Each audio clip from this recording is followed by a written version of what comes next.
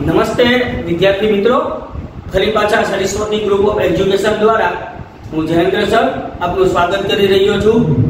બાળકો, ગયા વખતના લેક્ચરની અંદર આપણે પાણી વિશેની બધી જ ચર્ચાઓ છે એને પૂરી કરી ગયા હતા. જળ સ્ત્રોત, એને જાળવવા માટેના ઉપાયો, એને કઈ રીતે નુકસાન થાય છે એના વિશે જાણી ગયા હતા. આ ઉપરાંત જુદા જુદા રાજ્યોમાં પાણીનો સંગ્રહ કરવા માટે જુદી જુદી પદ્ધતિઓ વિશે પણ આપણે માહિતી મેળવેલી હતી. તમે તમારી આસપાસના વિસ્તારોમાં જ્યાં રહ્યો છો, એની આસપાસના વિસ્તારોમાં તમે જો કે પાણીનો સંગ્રહ કરવા માટે કેવી વ્યવસ્થાઓ હોય છે. પર્વતીય વિસ્તારોમાં મેદાની પ્રદેશોમાં પાણીનો સંગ્રહ કરવા માટે કયા પ્રકારની વ્યવસ્થા હોય છે. તો આપણને માલુમ પડશે કે બધી જ જગ્યાએ અલગ અલગ પર્વતીય વિસ્તારમાં છે, ત્યાંથી જુદી રીતે પાણીનો સંગ્રહ કરવા માટેની સિસ્ટમ વ્યવસ્થાપન ઊભું હશે. મેદાની વિસ્તાર હશે તો એમાં પાણીનો સંગ્રહ કરવા માટે અલગ અલગ પ્રકારની વ્યવસ્થાઓ હશે. આપણી ઘરે છે એ પાણી મ્યુનિસિપાલિટી દ્વારા આવે છે, બોરમાંથી આવે છે. આવી રીતે અલગ અલગ રીતે દરેક જગ્યાએ પાણી માટેના જુદા જુદા પરિબળો અથવા તો પાણી પ્રાપ્તિના પરિબળો અલગ અલગ હોય છે. તો બાળકો, પાણી ખૂબ જ મહત્વનું છે એટલે સાવચેતીપૂર્વક વાપરવું જોઈએ, પ્રદૂષિત ન કરવું જોઈએ. તો આજે એવો સંકલ્પ કરો કે અમે પાણીનો બગાડ નહીં કરીએ. ઓકે? તો હવે આવું બીજું જ એક મહત્વનું પરિબળ જે આજે આખા વિશ્વની અંદર મોટામાં મોટું પરિબળ છે. કોલસો અને પેટ્રોલિયમ. અગાઉના ધોરણની અંદર આપણે અભ્યાસ કરી ગયા છીએ કે કોલસો અને પેટ્રોલિયમ જે છે એ અશ્મિ બળતણ છે. લાખો વર્ષો પહેલા પૃથ્વીના પેટાળની અંદર જે સજીવો દટાઈ ગયા હતા એમાં એક પછી એક ઉપર સ્તર જામતા ગયા. એટલે ઉપરથી પૃથ્વીનું પ્રેશર દબાણ આવતું હતું. પૃથ્વીનું પેટા તો અતિશય ગરમ છે. એટલે નીચેથી પૃથ્વીની ગરમી પ્રાપ્ત થઈ. તો આમ દબાણ, ઊંચું દબાણ, ઊંચી ગરમી, એના પરિણામે એનું વિઘટન થઈ અને પેટ્રોલિયમ કે ખનિજ કોલસામાં રૂપાંતર થયું છે. તો આ કોલસો અને પેટ્રોલિયમ આજે આપણે 21મી સદીની અંદર જીવનનો એક જરૂરી ભાગ છે. એના વગર કોઈ પણ દેશનો વિકાસ શક્ય નથી. અલબત્ત, એવું કહી શકાય કે કોઈ પણ દેશના વિકાસનો પાયો એ આ પેટ્રોલ અને ડીઝલ અથવા તો પેટ્રોલિયમ અને કોલસા ઉપર જ આધારિત છે. જે દેશ પેટ્રોલ અને કોલસાથી સમૃદ્ધ છે, એ વિકસિત દેશો છે. જે દેશમાં એની અછત છે, એને કોક ઉપર આધાર રાખવો પડે છે. પણ આજે આડેધડ જે પેટ્રોલિયમ, કોલસાનો ઉપયોગ થઈ રહ્યો છે એ વ્યાજબી છે. એનાથી આપણને થતા નુકસાનો શું?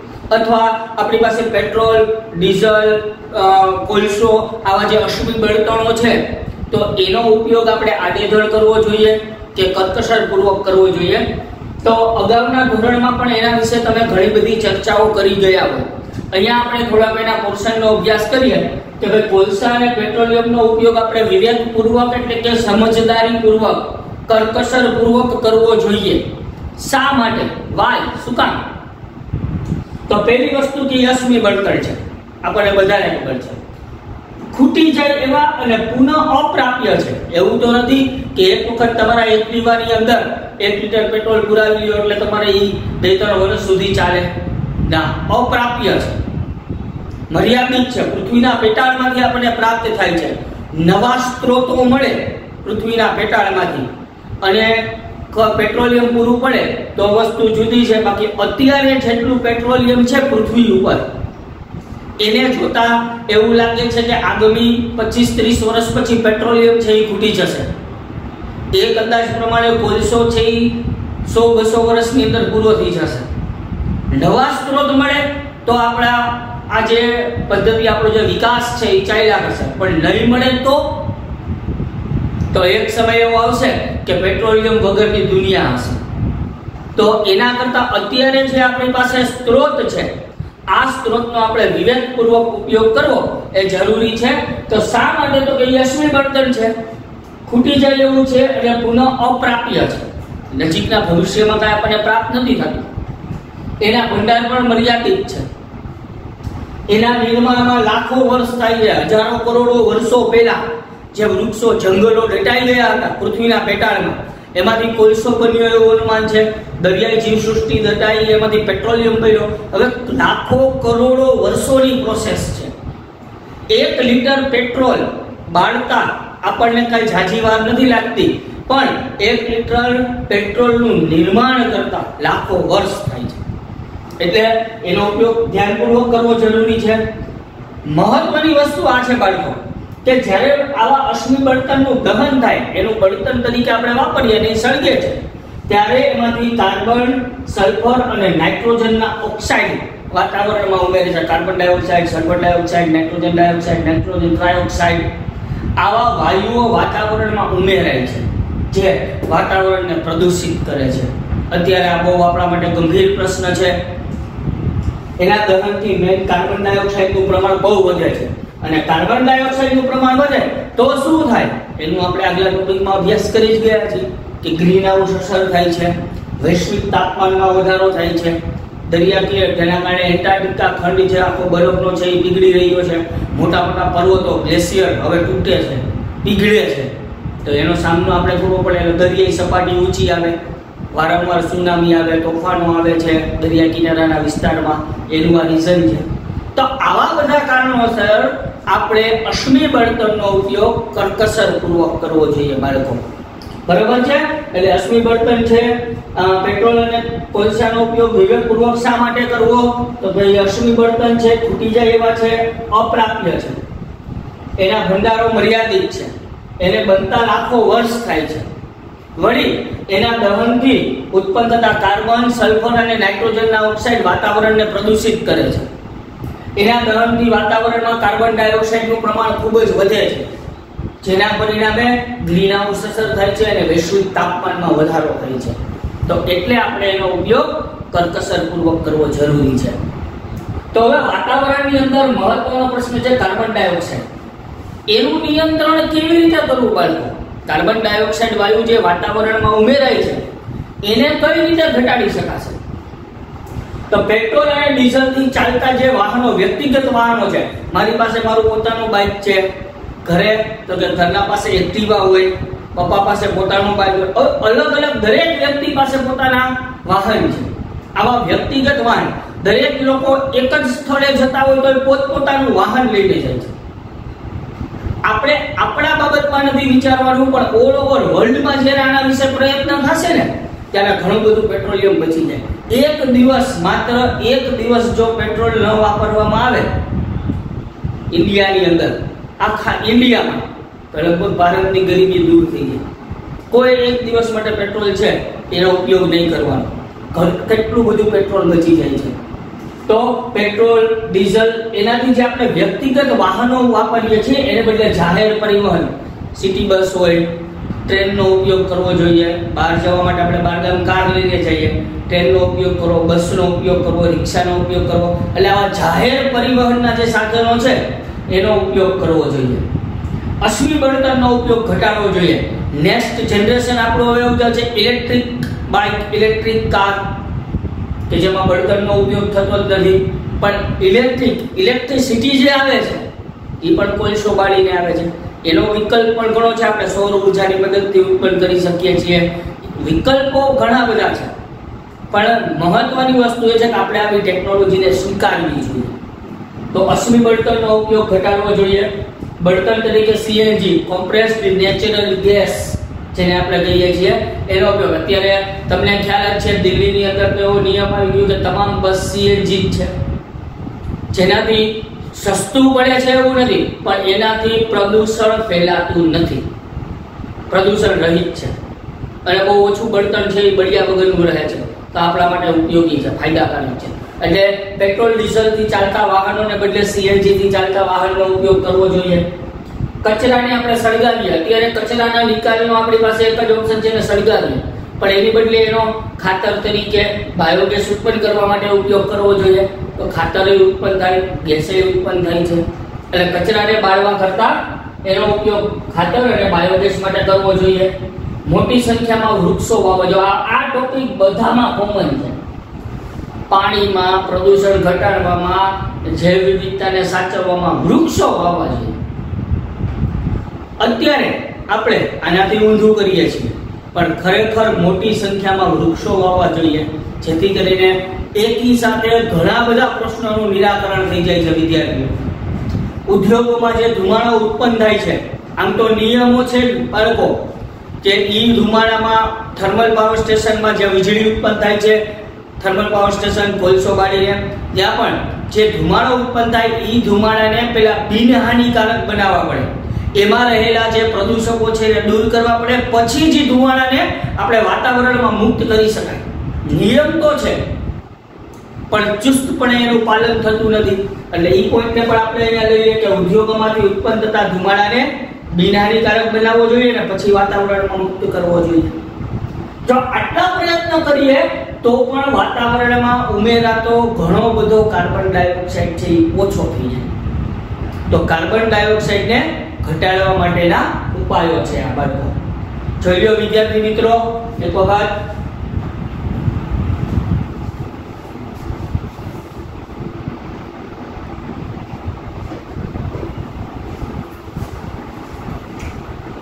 તો ચાલો, વિદ્યાર્થીઓ, હવે આપણે કોલસા અને પેટ્રોલિયમનો ઉપયોગ કેવી રીતે ઘટાડી શકાય? એના કેટલાક ઉપાયો જોઈએ કે આપણે હવે મનમાં નક્કી કરીએ છીએ કે આપણે કોલસા અને પેટ્રોલિયમનો ઉપયોગ સંપૂર્ણ ઓછો કરવો છે. તો આના માટે શું કરી શકાય? તો વ્યક્તિગત વાહનના બદલે જાહેર પરિવહન સેવાનો ઉપયોગ કરવો જોઈએ. આપણે હમણાં ચર્ચા કરી કે પોતાનું અંગત વાહન છે, એનો ઉપયોગ બને એટલો ઓછો કરો. પણ જ્યાં સિટી બસની સવલત ઉપલબ્ધ છે, ટ્રેનની સવલત ઉપલબ્ધ હોય, તો એવી જાહેર પરિવહનની સેવાઓ છે, એનો ઉપયોગ વધારવો જોઈએ. બલ્બના બદલે સીએફએલ પહેલાના સમયમાં બલ્બ આવતા હતા. પીળા કલરના લેમ્પ હોય, વધુ પાવર વધારે વીજળી વાપરતા હતા. એની બદલે હવે તો બધે સીએફએલ આવી ગઈ છે, એટલે એનો ઉપયોગ કરવો જોઈએ. નજીકના સ્થળે જો તમારે જવું હોય, તો ખરેખર કાં તો સાયકલ લઈને જવું જોઈએ અથવા તો ચાલીને જવું જોઈએ. આપણે તો નજીક ક્યાંક જવું હોય તો મમ્મી કંઈક કામ ચીંધે, તો આપણે તરત જ એમ કહીએ કે અમને એક્ટિવાની ચાવી આપો, તો લઈ આવી દે. તરત એવું કંઈ નજીક જવું છે, તો ચાલીને જાઓ અથવા સાયકલનો ઉપયોગ કરવો જોઈએ. ખોરાક રાંધવા માટે પ્રેશર કુકરનો ઉપયોગ કરવો જોઈએ. મમ્મીને પૂછજો, પ્રેશર કુકરમાં રસોઈ ઝડપથી તૈયાર થઈ જાય. એટલે એટલું બળતણ બચે. બળતણ હવે આવું વિશ્વમાં તમામ લોકો દ્વારા જો પ્રયત્ન કરવામાં આવે તો ખૂબ અસરકારક કામ થઈ શકે છે. આપણાથી જો શરૂઆત કરીએ આપણે, એટલે ખોરાક રાંધવા પ્રેશર કુકરનો ઉપયોગ કરવો જોઈએ. ટ્રાફિક સિગ્નલ હોય, જ્યાં રેડ યલો અને ગ્રીન લાઇટ આપણને ખબર છે રેડ લાઇટ હોય એટલે સ્ટોપની નિશાની છે. હવે આપણને ખબર છે, ઘણી બધી સેકન્ડ હવે તો અમુક ટ્રાફિક સિગ્નલમાં સેકન્ડ લખેલી હોય કે તમારી સાઇટ છે એ કયા સેકન્ડ કેટલી સેકન્ડ પછી ખુલશે. તો ખબર જ છે રેડ લાઇટ છે, તો પોતાનું વાહન બંધ કરી દો. આપણે ઘણા લોકોને જોયા છે, છતાં પણ ત્યાં પોતાના કાર બાઇક ચાલુ રાખતા હોય, ખોટા કારણ વગરના હોર્ન મારતા હોય. પેટ્રોલ તો બળે છે, અવાજ પ્રદૂષણ એ કરે છે. તો ટ્રાફિક સિગ્નલમાં લાલ લાઇટ હોય ત્યારે પોતાનું વાહન બંધ રાખવું જોઈએ. બે કે ત્રણ માળના મકાનો હોય બાળકો, તો એમાં લિફ્ટના બદલે પગથિયાનો ઉપયોગ કરવો જોઈએ. અત્યારે આપણે એટલા આળસુ બની ગયા છીએ કે પેલા માળે પણ લિફ્ટની રાહ જોઈએ છીએ લિફ્ટ જે નવમા માળે હોય, આપણે પેલા માળે જવું હોય. તો નવ માળેથી લિફ્ટ નીચે આવે, પછી આપણે પેલા માળે જઈએ છીએ. તો એક પગથિયા ચડો એટલે પેલો માળ તો આવી જવાનો. પણ બે કે ત્રણ માળવાળા બિલ્ડિંગો હોય, એમાં લિફ્ટના બદલે પગથિયાનો ઉપયોગ કરવો જોઈએ. વાહનોના ટાયરની અંદર પણ હવાનું પ્રેશર યોગ્ય હોવું જોઈએ. જો યોગ્ય પ્રેશર હોય તો જ બળતણ ઓછું વપરાય. નહીતર આપણા વાહનનું જે ટાયર છે એ રસ્તા સાથે ચોટતું વાલે અને એના પરિણામે વધારે જોર કરવું પડે, વધારે પેટ્રોલ વપરાય, તો વાહનોમાં, ટાયરમાં પણ યોગ્ય હવાનું પ્રેશર હોવું જોઈએ. કાર્યક્ષમ અને અસરકારક હોય ટૂંકમાં અસરકારક રીતે બળતણનું દહન કરે એવું એન્જિન વાપરવું. અને આ માટે આપણે આપણા વાહનો હોય ને, એની નિયમિત સમયે એની સર્વિસ કરાવવી પડે, એની ચકાસણી કરાવવી પડે છે. તો એ વધુ કાર્યક્ષમ અને લાંબા સમય સુધી આપણને કામ આપે અને બળતણ ઓછું વપરાય. ઘણાના બાઈકોએ આપણને ખબર છે કે જેટલું ચાલે એના કરતાં પાછળ ધુવાનો જાજો ઉત્પન્ન થતો હોય. તો એન્જિનની મરામત કરાવવી જોઈએ નિશ્ચિત સમયે. એવું એન્જિન વાપરવું જોઈએ કે આપણે અસરકારક અને કાર્યક્ષમ રીતે બળતણનું દહન કરે. શિયાળાની અંદર હવે તો ઇલેક્ટ્રિક સગડી ઇલેક્ટ્રિક હીટર આવ્યા છે કે જેનાથી આપણે ઘરમાં ગરમાવો રહીએ. શિયાળામાં બહુ ઠંડી હોય. ખરેખર એના કરતાં એક સ્વેટર વધુ પહેરી લ્યો ને, તો એટલી વીજળી બચશે આપણને એવા મનમાં પ્રશ્ન થાય કે આ બધું અમે શું કામ કરીએ? પણ શરૂઆત તો આપણે કરવી પડે ને. વિશ્વના બધા લોકો કરે તો તો બહુ મોટું અસરકારક પરિણામ મળે આપણને. પણ આપણાથી એની શરૂઆત કરવી જોઈએ. એટલે શિયાળામાં હીટર કે સગડીના બદલે એક સ્વેટર વધારે પહેરવું જોઈએ. જો આટલા પ્રયત્ન કરવામાં આવે તો પણ પેટ્રોલિયમ અને કોલસાનો ઉપયોગ છે એ ઘટાડવામાં આપણને બહુ મદદરૂપ થાય છે. અત્યારે થર્મલ પાવર સ્ટેશન, તાપ વિદ્યુત મથકો જે છે, ત્યાં વીજળી ઉત્પન્ન કરવામાં આવે છે, પણ કોલસો બાળી અને વીજળી ઉત્પન્ન થાય છે. તો આ જે આપણે વીજળીનો ઉપયોગ કરીએ છીએ, એ કોલસો બાળીને જ ઉત્પન્ન થાય તો જેટલી વીજળી બચાવીએ, એટલો કોલસો બચશે.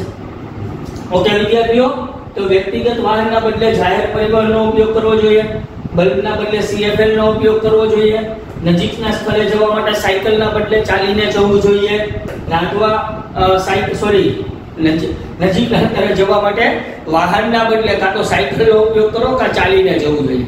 સાયકલના બદલે ચાલીને જાય તોય ફાયદો થાય ને? સાયકલના બદલે ચાલીને જાવ તો શરીર સારું રહેશે, વધારે કસરત થશે, એક્સરસાઇઝ થશે. ખોરાક રાખવા પ્રેશર કુકરનો ઉપયોગ કરવો. ટ્રાફિક સિગ્નલે જ્યારે લાલ લાઇટ હોય, ત્યારે આપણું વાહન બંધ કરી દેવું જોઈએ. બે કે ત્રણ વાળા માળવાળા બિલ્ડિંગ છે, એમાં લિફ્ટના બદલે પગથિયાનો ઉપયોગ કરવો જોઈએ. વાહનોના ટાયરમાં હવાનું દબાણ યોગ્ય રાખવું જોઈએ. કાર્યક્ષમ અને અસરકારક રીતે બળતણનું દહન કરી શકે એવું એન્જિન વાપરવું જોઈએ. શિયાળામાં હીટર કે સગડીનો ઉપયોગ કરવાને બદલે એક સ્વેટર વધારે પહેરી લેવું જોઈએ. આટલા પ્રયત્નો દ્વારા આપણે વાતાવરણમાં કાર્બન ડાયોક્સાઇડનું ઉત્સર્જન છે એ અટકાવી શકાય છે વિદ્યાર્થીઓ. હવે આપણે આટલા બધા પ્રયત્ન, વિશ્વની અંદર આટલા બધા પ્રયત્ન થાય છે મારે. તો આમ છતાંય નૈસર્ગિક સ્ત્રોતનો સુપોષિત વિકાસ કેમ નથી થયો શા માટે નૈસર્ગિક સ્ત્રોત ઉપર હંમેશા ભારણ જ રહે છે? આટલા બધા પ્રયત્ન વિશ્વ સમજી ગયું છે. ઓલ ઓવર વિશ્વમાં તમામ દેશ નૈસર્ગિક સ્ત્રોતને બચાવવા માટેનો પ્રયત્ન કરી રહ્યા છે. તો નૈસર્ગિક સ્ત્રોતનો સુપોષિત વિકાસ એટલે કે પ્રદૂષણ મુક્ત અને ટકાઉ વિકાસ કેમ નથી થતો? તો બાળકો, એમાં બે પરિબળો નડતર રૂપ છે. એક પરિબળ છે વસ્તી વધારો. આજે આખા વિશ્વમાં દિવસે ને દિવસે વસ્તી વધી રહી છે. તો નૈસર્ગિક સ્ત્રોત ઉપરનું ભારણ વધવાનું છે. નૈસર્ગિક સ્ત્રોત તો મર્યાદિત છે. એ કઈ વધતા નથી. વસ્તી વધતી જાય છે તો નૈસર્ગિક સ્ત્રોતનું અતિશોષણ સતત ચાલુ જ રહે છે. એના પરિણામે આપણે નૈસર્ગિક સ્ત્રોતનો સુપોષિત વિકાસ કરી શકતા નથી. એટલે વસ્તી વધશે તો નૈસર્ગિક સ્ત્રોતનો સુપોષિત વિકાસ શક્ય નથી જ. તો પેલા વસ્તીને પણ કંટ્રોલમાં કરવી જરૂરી છે. બીજી છે આપણી લાલચ. કે આપણો સ્વાર્થ. આના વિશે આપણે ચર્ચા કરી હતી કે ઉદ્યોગપતિઓ હોય ઘણા એવા લોકો છે જે નૈસર્ગિક સ્ત્રોતનો આડેધડ ઉપયોગ કરે છે. એ માત્ર પોતાના લાભ માટે, પોતાની લાલચ માટે હજારો લોકો એને આવા નૈસર્ગિક સ્ત્રોત છે, એની હાનિકારક અસરોનો ભોગ બનવું પડે છે. તો આપણું લાલચ છે, સ્વાર્થ છે, જે લોકો આવા નૈસર્ગિક સ્ત્રોતનો ઉપયોગ કરે છે એ આડેધડ એમ ઉપયોગ કરે છે. બીજા કોઈનું વિચારતા નથી અને એના પરિણામે પણ નૈસર્ગિક સ્ત્રોતનો આપણે જે સુપોષિત વિકાસ ધારીએ છીએ એ શક્ય બનતો નથી. તો નૈસર્ગિક સ્ત્રોતનો સુપોષિત વિકાસ ખરેખર ખૂબ જરૂરી છે, પણ એમાં નડતરરૂપ બાબત છે વસ્તી વધારો અને આપણી લાલચ. આ બે નૈસર્ગિક સ્ત્રોતના સુપોષિત વિકાસના અટકાવતા પરિબળો છે બાળકો. તો આપણે ખરેખર આપણે તો કમસે કમ નૈસર્ગિક સ્ત્રોતની જાળવણી કરશું વિશ્વ લેવલે પ્રયત્ન થયા જ છે. યુરોપિયન યુનિયન છે, એને યુરો માપદંડ, તમે ઘણીવાર સાંભળ્યું હશે કે યુરો વન, આપણા જે વાહનો છોડાવીએ, એમાં euro one, euro two, euro three એવી ટેકનોલોજી એ ખરેખર શું છે? વાહનો દ્વારા જે પ્રદૂષિત ધુમાડો ઉત્પન્ન થાય, એમાં હાનિકારક તત્વોને ઘટાડવા માટે એન્જિનમાં ફેરફાર. એટલે કે આપણી ટેકનોલોજીમાં ફેરફાર કરવાનો એક ઉપાય છે. એટલે યુરોએ પોતાના નિયમો બહાર પાડ્યા છે. યુરો ફોર યુરો થ્રી, એમ સ્ટેપ બાય સ્ટેપ એનું અમલીકરણ કર્યું છે. ભારતમાં એને યુરો નહીં, ભારતમાં એને ભારત વન, ભારત ત્રણ. અત્યારે કેમ? બીએસ સિક્સ ના વાહનો. માર્ચથી બીએસ સિક્સના વાહનો છે. એનું વેચાણ કરવાનું સરકાર દ્વારા નક્કી થયું. બીએસ ફાઈના વાહનો હવે ક્યાંય ન મળે. આપણે ઘણીવાર તમને એની માહિતી આપી હતી કે ભાઈ બીએસ સિક્સના વાહનો આવે, પછી બીએસ ફાઈવ કોઈ ન લે. એક્ટિવા અત્યારે બીએસ સિક્સ આવે છે. એટલે ફાઈવ જી ટેકનોલોજી પૂરી થઈ જાય, હવે સિક્સ આવે છે. તો યુરોએ પોતાના માપદંડ નિયમો નક્કી કર્યા છે કે વાહનમાં બળતણનું, પેટ્રોલનું, બળતણનું કે ડીઝલનું દહન થવાથી જે ધુમાડો ઉત્પન્ન થાય એમાં જે હાનિકારક તત્વો છે ને, એમાં ઘટાડો થાય એવી ટેકનોલોજી લાવવી. એની ટેકનોલોજીનો ઉપયોગ કરી અને વાહનો બનાવવા. એના માટે થઈને યુરોએ જે માપદંડો છે, નિયમો બહાર પાડ્યા છે, એનો ધીમે ધીમે એને અમલીકરણ કર્યો છે. દાખલા તરીકે, યુરો વન ઈ ઓગણીસો બાણું અને ત્રાણુંમાં એપ્લાય કરવામાં આવ્યું હતું. પછી યુરો ટુ. ઓગણીસો છન્નું સત્તાણું માં એપ્લાય થયું, યુરો ટુ. યુરો થ્રી બે હજારની સાલમાં અને યુરો ફોર બે હજાર ને પાંચમી સાલમાં એપ્લાય કરવામાં આવ્યું. અત્યારે તો યુરો સિક્સ આવી ગયું છે. તો પ્રદૂષણને ઘટાડવા સ્ટેપ બાય સ્ટેપ અમલીકરણ કરે છે.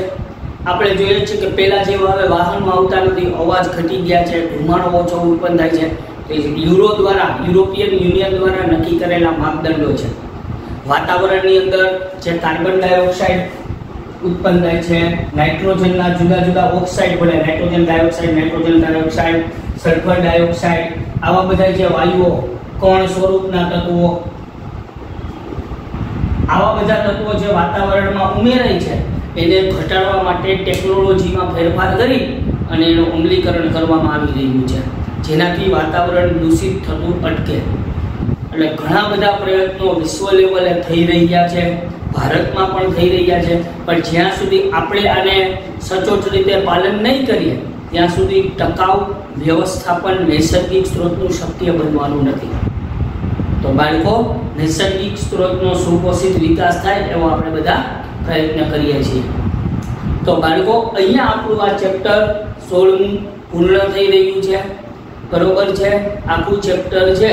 એને એક વખત રીડિંગ કરો ટેક્સ્ટ બુકમાંથી અને એના સોલ્યુશન છે એ તમે, અથવા તો કોઈ ક્વેશ્ચન છે સોલ્યુશન ગોતો, ન મળે તો તમે અમને જણાવી શકો છો. બોલો બાળકો.